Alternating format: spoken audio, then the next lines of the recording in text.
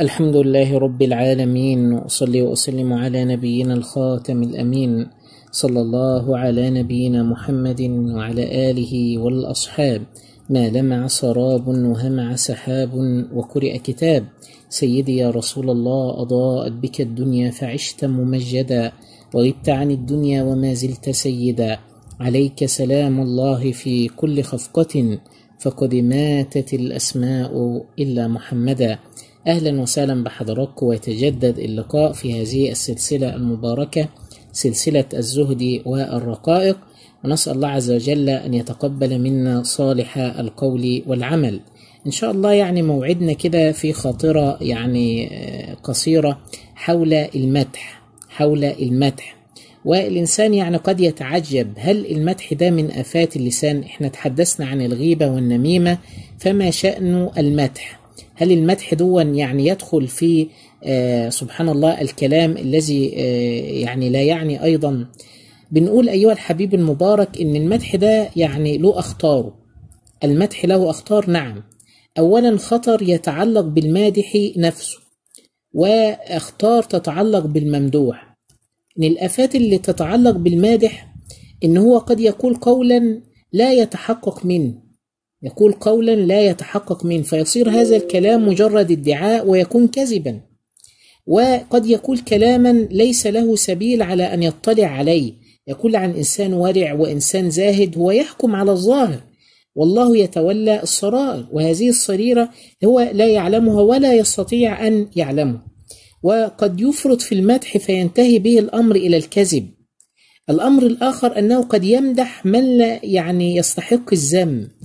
فسبحان الله يبوء بالإسم. يبقى دي كلها مخاطر للمادح.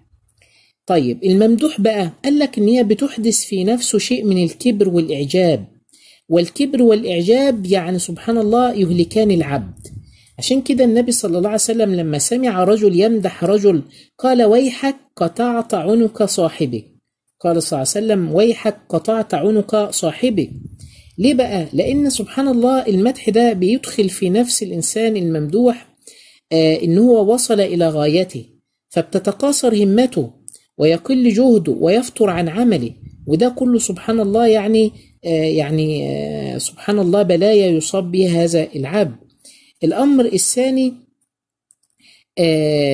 يعني الافات دهيا سبحان الله بتدخل إلى قلب الإنسان الممدوح فتتغلغل في قلبه وتقصر همته وتقصر جهده وقد يتفاخر ويتعاظم على الناس.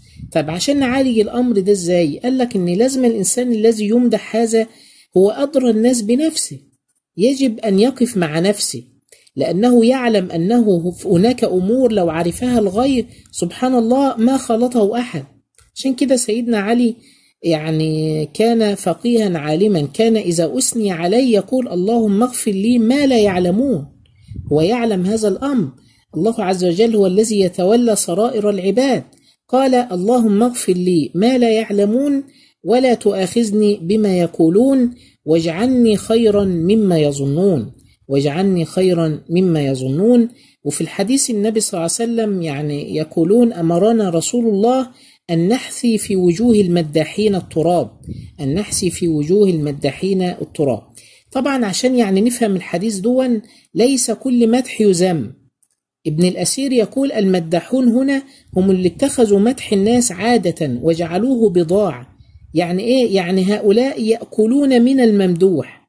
هو يذكر الممدوح بالفعل الحسن والأمر الجميل ترغيبا في أو رغبة في أموالهم. يأكلون بهذا المدح. ولكن إذا امتدحت إنسان على خلق حسن أو أمر ممدوح تريد ترغيب الناس وتحرضهم على الاقتضاء بهذا الأمر فهذا يعني ليس بالمدح المنهي عنه.